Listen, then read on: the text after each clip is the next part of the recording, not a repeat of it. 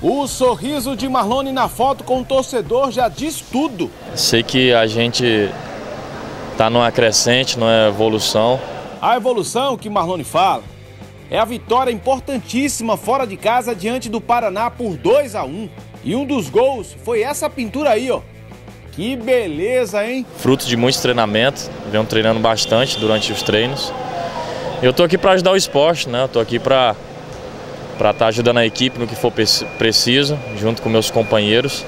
Espero estar tá cada dia evoluindo e num alto nível, porque assim eu posso alcançar coisas maiores. Para buscar coisas maiores, é preciso continuar somando pontos.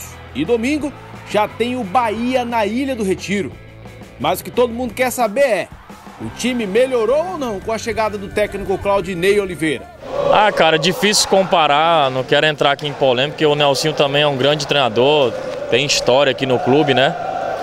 Mas a visão do Claudinei, foi é, fechar as linhas ali, como ele chegou falando, de organização. Só que a gente vinha numa crescente, né, cara? Junto com. Até com no comando do professor Nelson contra o Botafogo, a gente fez um grande, um grande jogo, merecemos a vitória.